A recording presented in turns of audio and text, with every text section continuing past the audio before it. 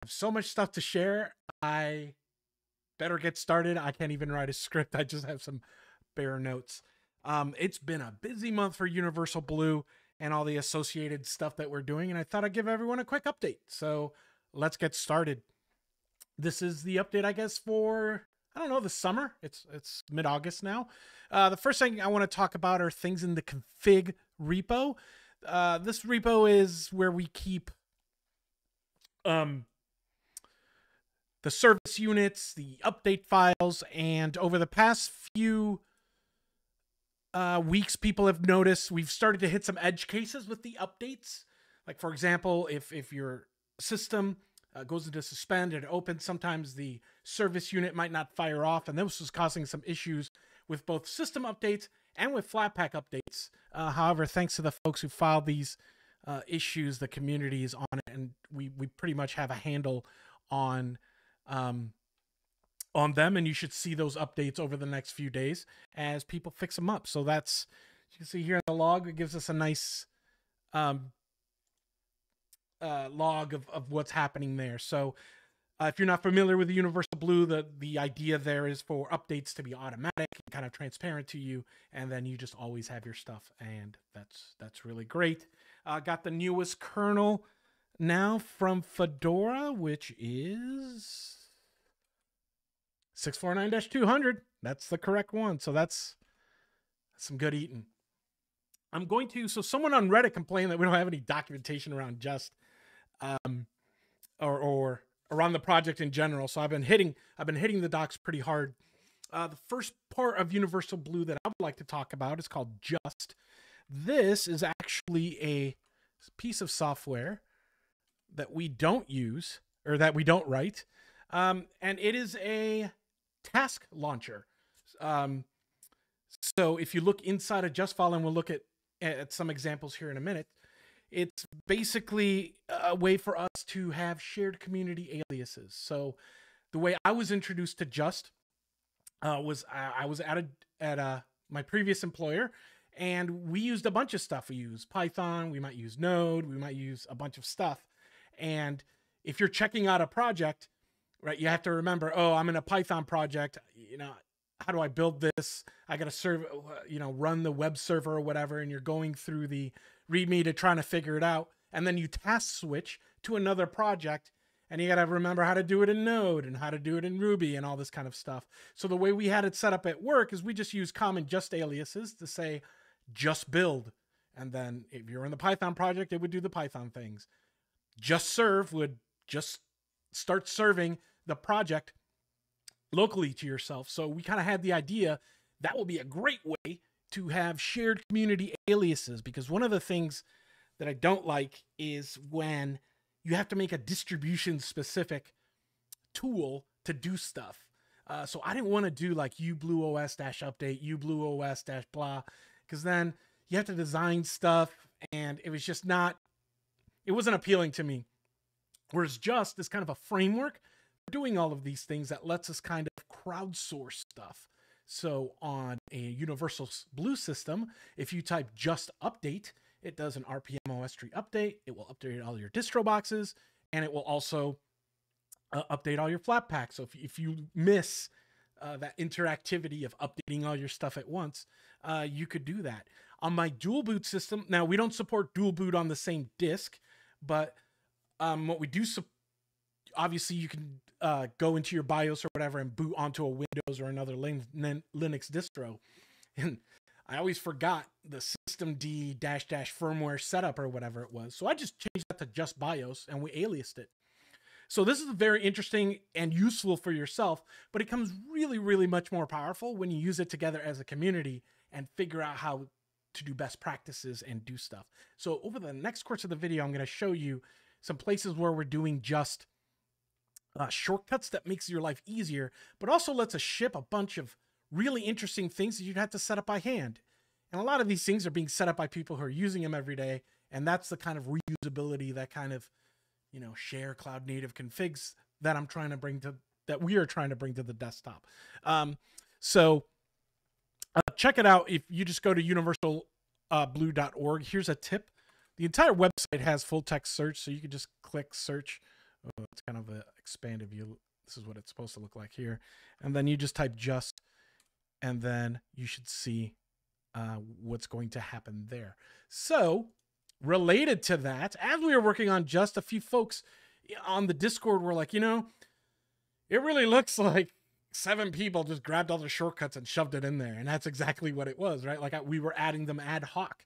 Um, so we figured now is the time to kind of think about naming conventions, uh, usage, how we're going to organize them. And so there's this thread in the forums. If you want to check it out, I will leave a link in the video there below on what we want to do to enable people to just learn how to use just is a very useful tool. It's very small. You can read the man page in one sitting in less than a few minutes. And we're hoping to uh, show off a bunch of stuff that we are doing with just. So let me give you a few things here. I hate computers because i had it all set up to browse everything and then i totally i totally um um mess that up. Uh, so here it is. Just BIOS will do a system cuddle reboot firmware setup.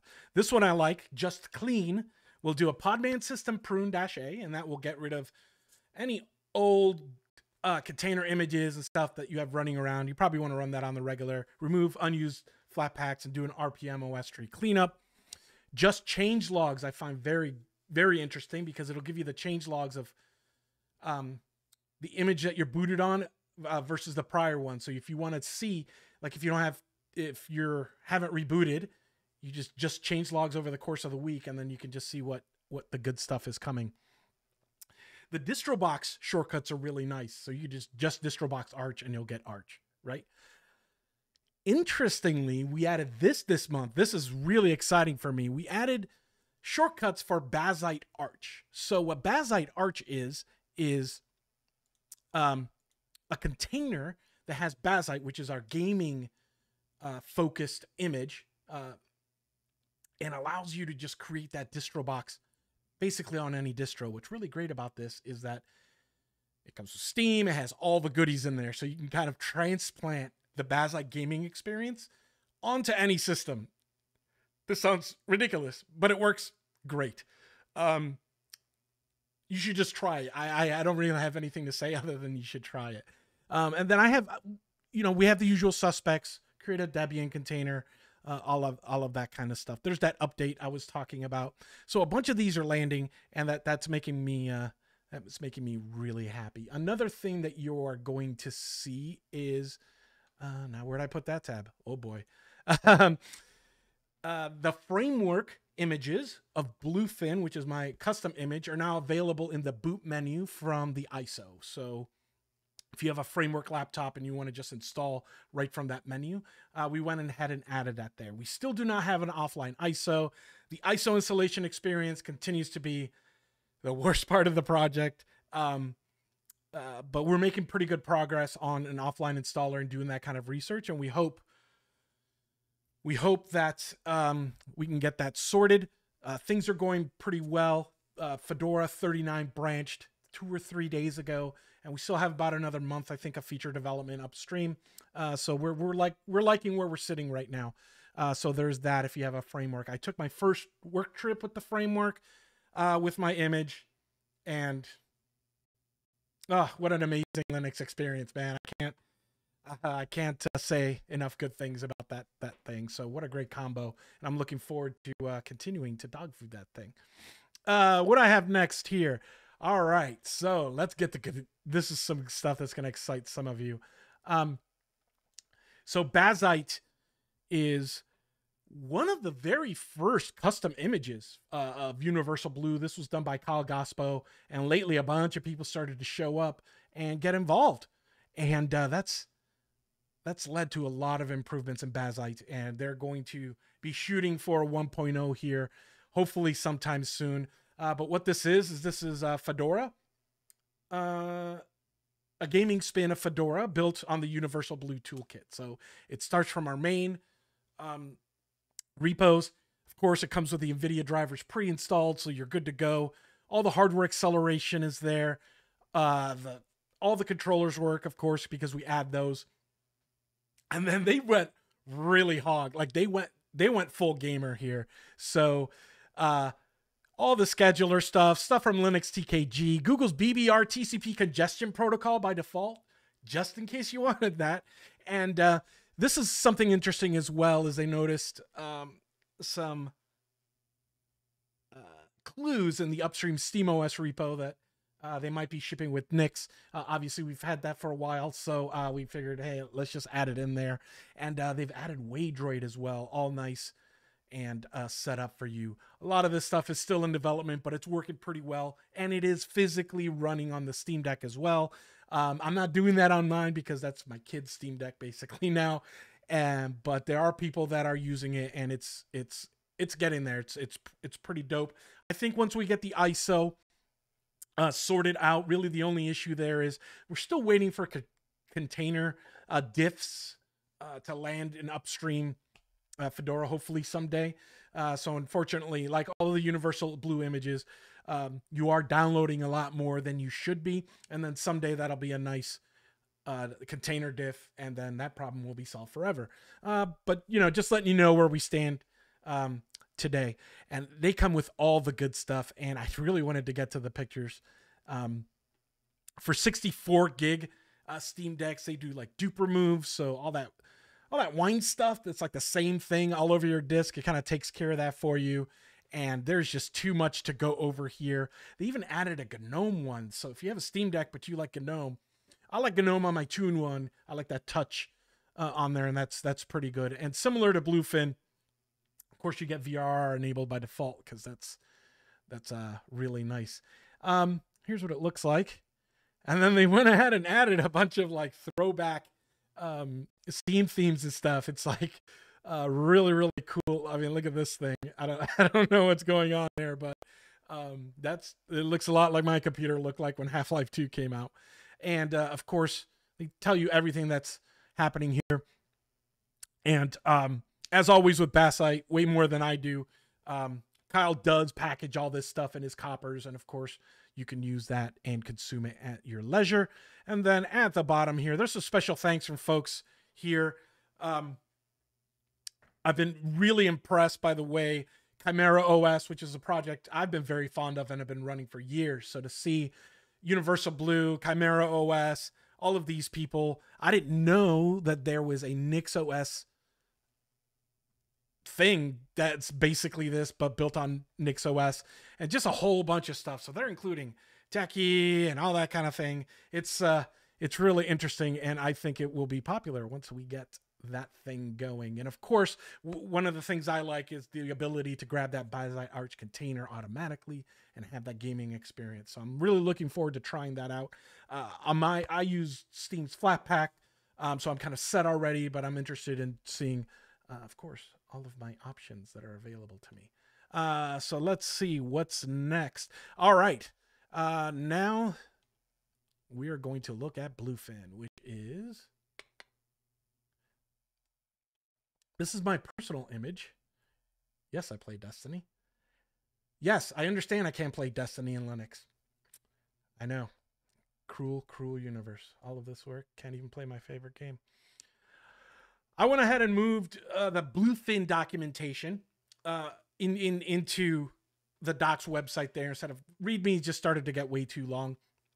If you're not familiar with Bluefin, that is my personal image. It started off as, you know, make it like Ubuntu, make it behave like Ubuntu, but it's in Fedora. But over the course of the past few months, it's really kind of taken on its life of its own, and I'm really excited to share uh, what we're doing there. The main thing you you should probably remember if you're into this stuff is uh, Bluefin has three uh, target users. The first one is the Chromebook replacement. So I've always thought it interesting that no one's really tried to make a Linux Chromebook like a Chromebook like experience um, using you know a, a more kind of traditional Linux OS that has uh, you know the power I, I love my Chromebooks, but sometimes you you want GNOME or you want KDE or whatever. You want the real the real powerful experience. Unfortunately, due to the uh, lack of having image-based updates in a consumable manner, doing this wasn't wasn't really feasible. So what I've decided to do is Bluefin is just going to be the Chromebook competitor, uh, using a few tools. The first is going to be Cockpit, which is a fantastic project.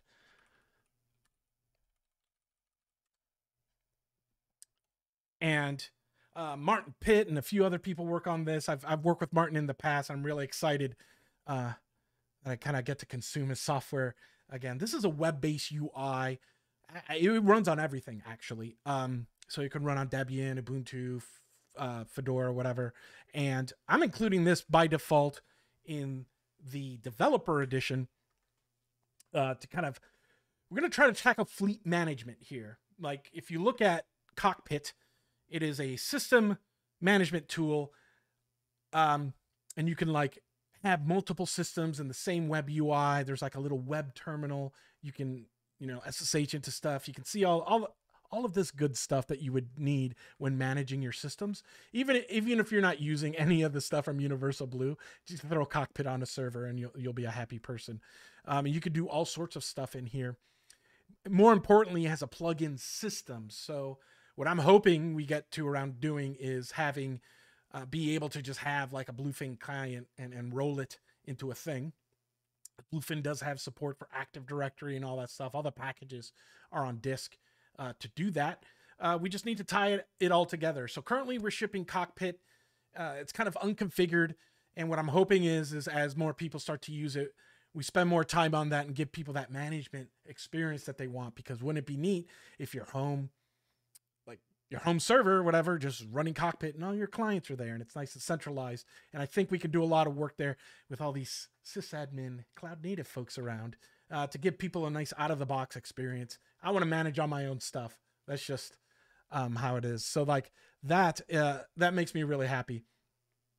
Um, so that is Bluefin. Uh, but the changes that I've made, sorry, here we go, is we uh, a lot of updates this month, but we've been focused really on the Bluefin DX, which is the Bluefin developer experience image, which is a separate image that builds from Bluefin, and then we just add a bunch of stuff on top. Bluefin is basically finished, right? We're able to get the desktop uh, to look how we want. It kind of looks like, you know, there's a dock on the bottom and app indicators. That's what most people look like. Fine, whatever. Um, but DX is the one that I dog food every day, and Brian Ketelsen and some of the other ones, some of the other folks that are um, helping me uh, work on Bluefin. This is the image that we use. This is my work image. This is what I have on my framework, uh, which is actually Bluefin DX framework. And um, we've made a lot of progress here, ma- ma- mainly in documentation. Uh, this guy Bob showed up today. I, I went to my kid's soccer game and my phone goes off and I see there's a pull request.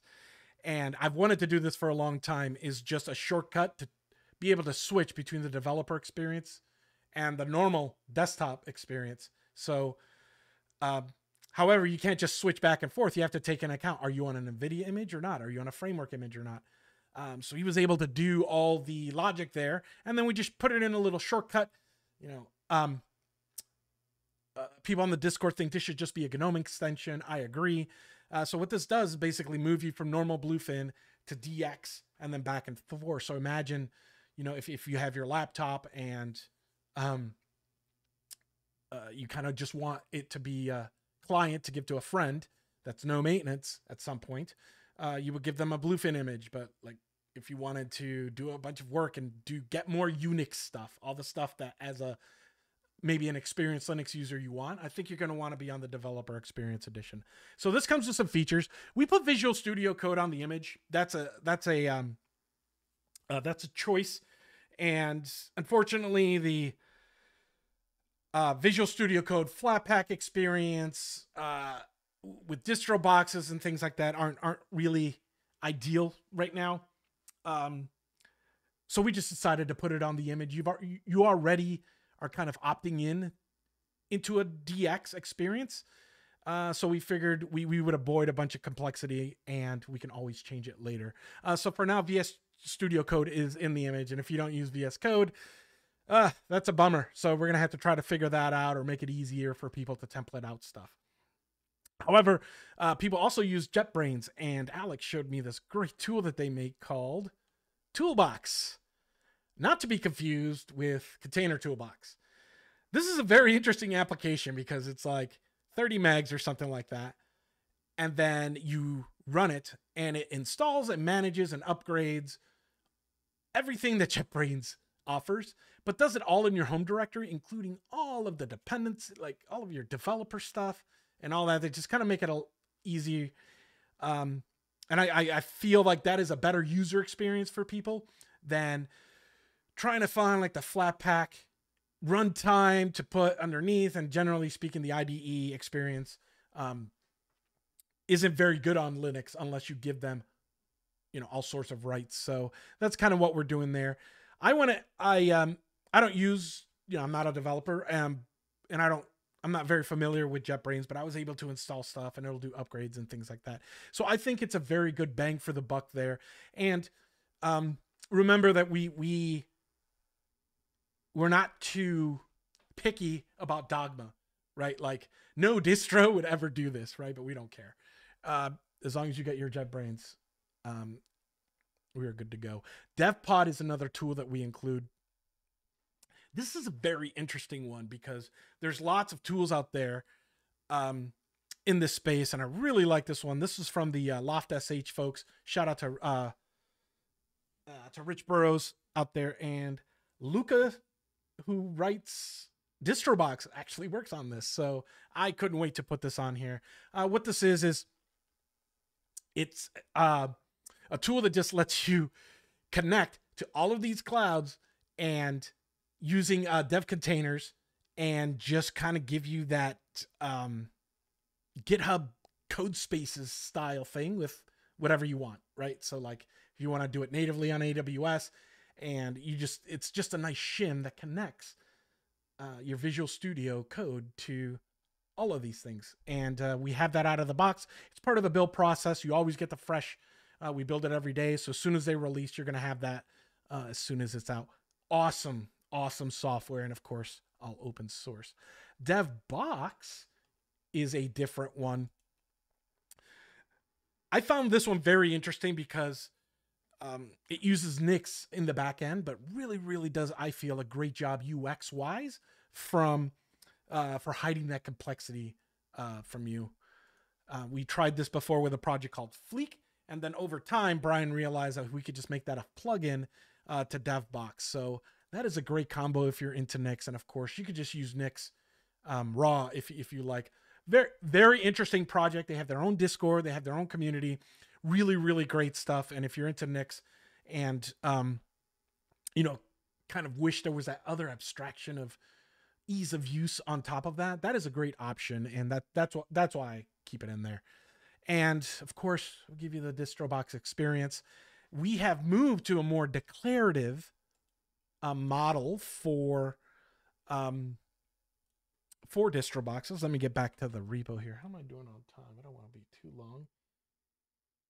Oh my goodness, 23 minutes. How much stuff.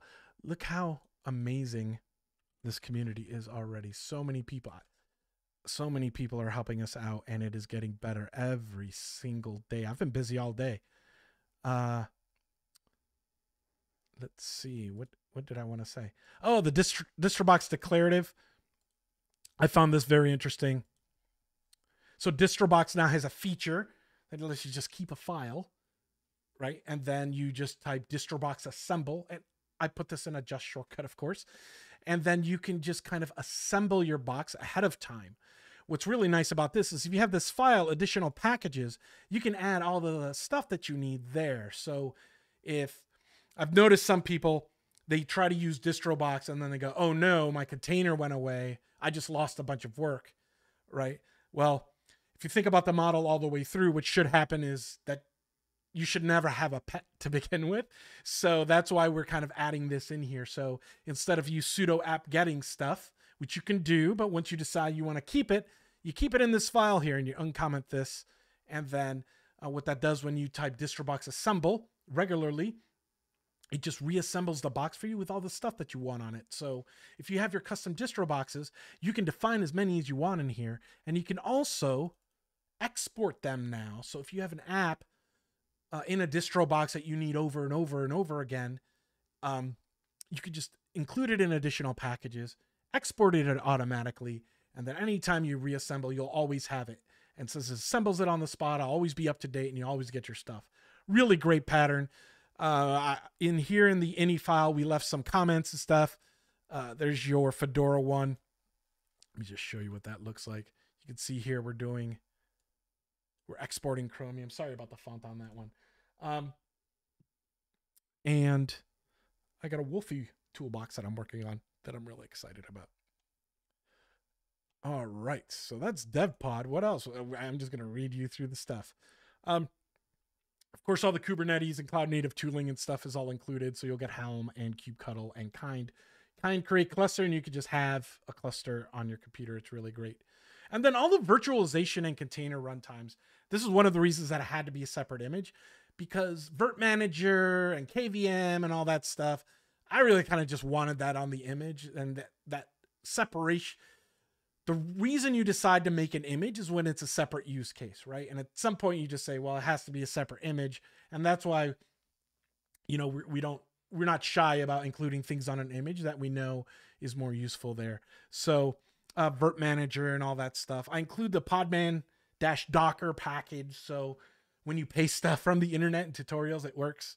Um, and of course, LXC and LXD. And of course, uh, once the Incus project starts publishing, hopefully it'll get into Fedora. But once that's in there, if they have a third party repo, repo, we'll of course uh, include that as well because I'm looking forward to that. Machine learning. This is an excellent contribution here you type just distrobox mlbox and what we do is we get you the latest stable pytorch from nvidia. Now if you look at what it takes to do this thing by hand not only do you have to have the uh, the drivers on your host you know but you, then you have to make a distro box and all that stuff and it's kind of complicated. Someone did that for you and the nice thing is it's using the upstream pytorch image from nvidia so they're maintaining it. All we're doing is kind of connecting you to it and calling it a day uh, so if you want to check that out, those instructions are there. It is a 20 gig container, and uh, sitting there, I'm pulling it. I was like, oh man, that's that's a big one. But you know what? Like in in in the grand scheme of things, for the people that are using machine learning resource wise, the time they are saving by not having to do this crap by hand uh, saves them way more than the cost of a disk.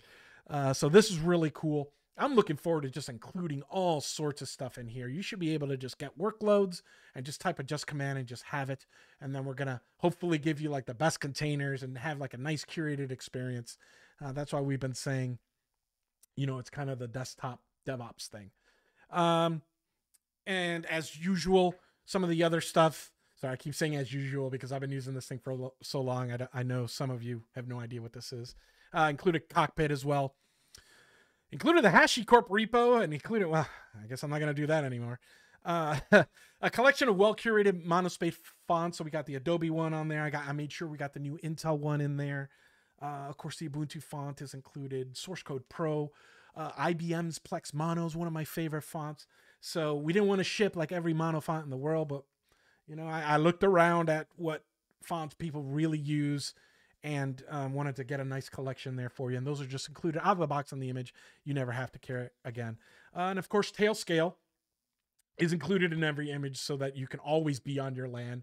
I find this really awesome, uh, especially if you're doing, um,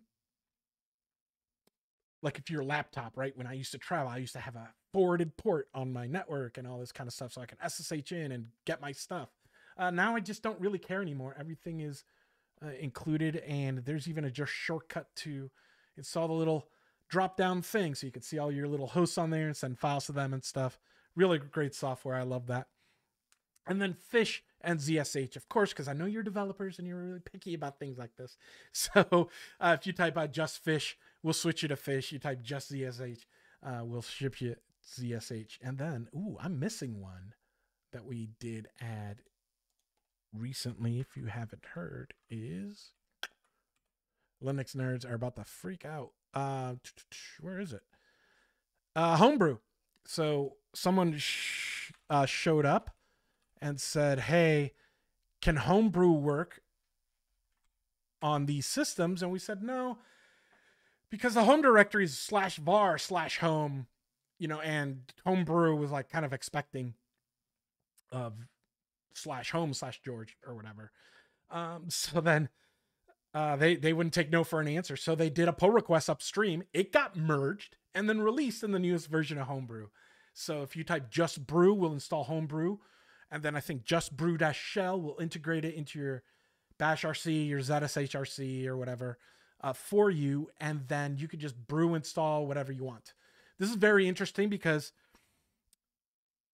uh, the DX, you know, a lot of my target audience are using Macs, right? Like open source is developed on on OS 10.